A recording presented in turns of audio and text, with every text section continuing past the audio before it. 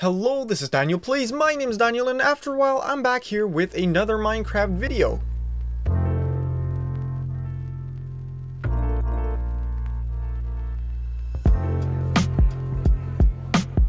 If you've been keeping up with the latest news, you might know that Minecraft The Village and Pillage update, also known as Minecraft 1.14, has very, very recently been released. If you didn't know about this, then there you go. Minecraft 1.14 is now out on Java. And the Java part is very important because the Java part is what we're going to be focusing on in this video. Today I'm going to show you how to create a Minecraft 1.14 server on Java. So if all goes well, we should be able to start up our server within the next 5 to 10 minutes. It's really that easy. If at any point before, during, or after this video you think you won't be able to get it done and you will never be able to get it done, then of course there's an easier alternative. That would be to use dedicated Minecraft server hosting, have people do it for you pretty much, and just pay them a small fee per month, which can go as low as just one buck per month. That is just nothing. But that's of course not what this video is about. We are going to be making our own Minecraft server for free but I still happily take any sponsorship. Just, just mentioning that. But without further ado, let's get straight into the tutorial. So because we're on Java, and I get a lot of comments from people that just can't get certain things to work, I always want to advise you to go on and see if you have Java SE installed. If you don't, then every file that you download that has to do with the Minecraft server or Optifine or stuff like that is not going to work because it's going to open as like a WinRAR file or a zip file, something like that, and that's not what you want. So be sure to go over to this page. I'll put a download link down below in the description where this page will automatically give you the latest version and if I remember properly you just got to download this Java JDK here. You click it and you go down here uh, select the operating system that you are using. And for Windows, which is probably what more, many of you guys are going to be using, or Mac OS, um, either go for the DMG or the EXE because it's easier and it's executable. So it's just easier, you know. So once you've got that done, then you can go ahead and go onto Minecraft.net.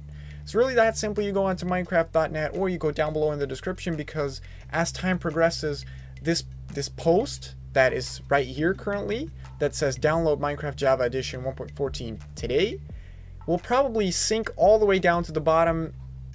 I don't know where it'll end up, but you probably get the point. After a while, it won't be up here anymore, and it will be harder to find. So I'll put a link up to uh, the server download in the description, so uh, you won't have to go through all that.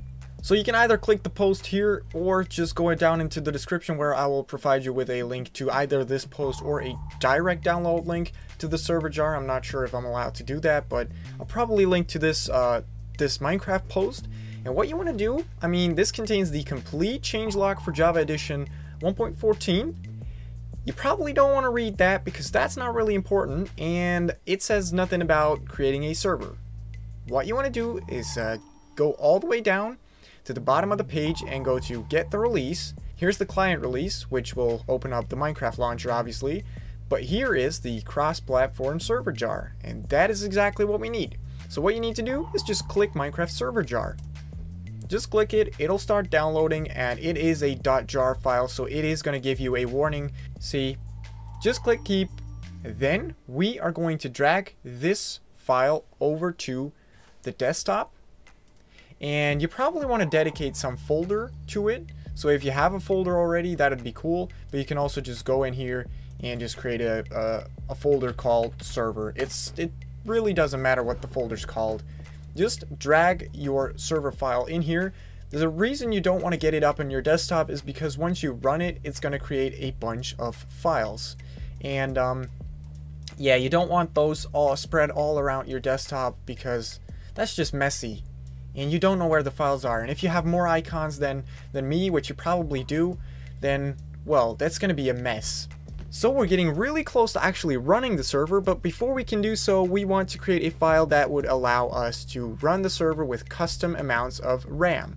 Because if we were to just run the server from the server.jar file, very, very little memory would be allocated to the server and it would not allow it to run smoothly, especially not if you wanted to mod it or anything or just play with a lot of people at once.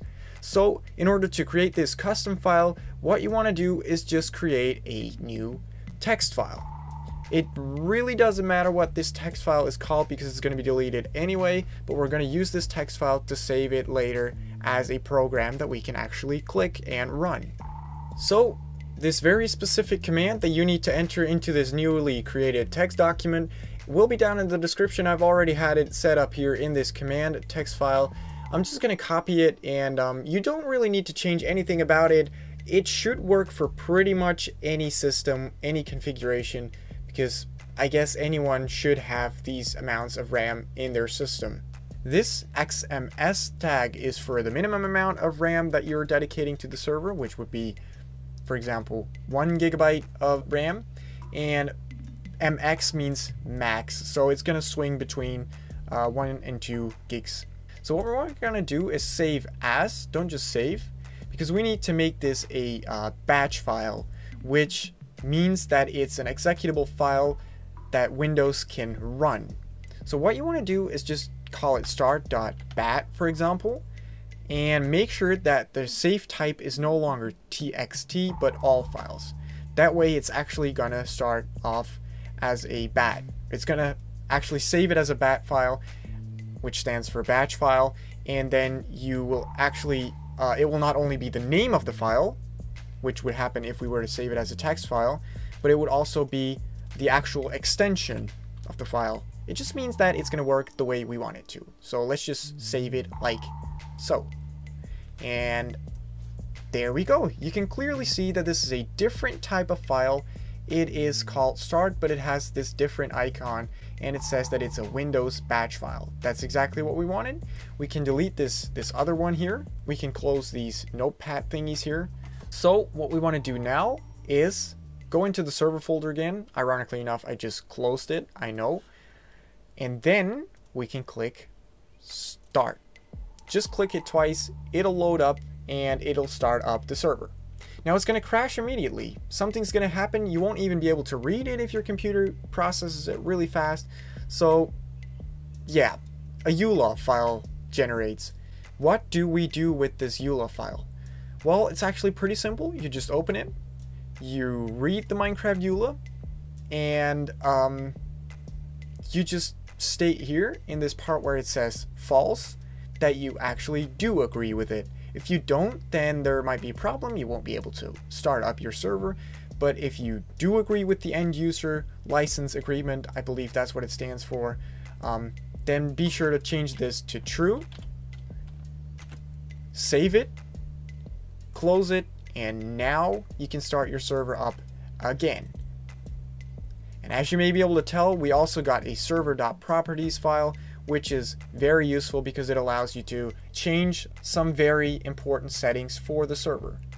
As you may be able to tell over here, oh yeah, this pop-up, uh, you might get this if this is your first time installing a server, which I think it is because you're watching a tutorial on how to install a server. So all you've got to do is just click allow access. This will allow Minecraft, this Minecraft server uh, access through the Windows firewall, which is uh, critical because if it doesn't have access, it's not going to be uh, accessible for other people. Now here it says done. That was really quick. If your computer is a little slower, then it might actually take a little longer, but that doesn't really matter. Just to show you that everything worked completely fine, I'm going to start up Minecraft 1.14 and join my own server. Now do note that if you want me to show you how to play this with friends real easily, you should download a program called LogMeIn and Hamachi, which allows you to create virtual private networks that your friends can join, through which they actually directly connect to you. So if you have this server, you don't even need to port forward it. If you just want to play it with some friends that you know and that you can chat with, then just send them your Hamachi IP address, which would be this for me, but of course, you can't do anything with that by just knowing my IP address because you're not connected to my Hamachi. I'm to start up my Minecraft. I'll be back in a second and I'll show you that we've actually successfully set up a Minecraft server from Minecraft 1.14. So here we are, Minecraft 1.14. I'm to go into multiplayer and add a server and I hope this is to work just like this. Um, this is not the way you should do it, but your friends should enter your Hamachi IP address. Or if you port forwarded your uh, server, then of course they should use your public IP4 address. So if you want a tutorial on how to do that, I might do that in the future, but for now it's just if you want to play with some close friends that you chat with and that are also able to just install a simple program like Hamachi on their computer, you can just create a network, join with all of you guys, and um, just use the IP that the Hamachi host has. So if you're the host of the server, then they should all use your IP address in the server address bar here. And then uh, colon 25565, which is the default port for Minecraft. There we go, Minecraft server. It's got 0 of 20 players. That's kind of obvious because I haven't told anyone about this. And there we go. I have successfully installed a Minecraft server for Minecraft 1.14 on my computer.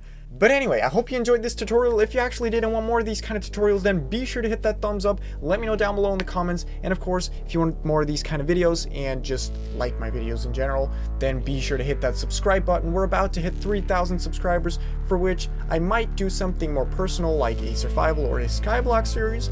Haven't thought about it yet. Um, we'll hit it soon though, so I should think about it. But for now, I really just want to thank you for watching, and I hope to see you again in the next video. See ya!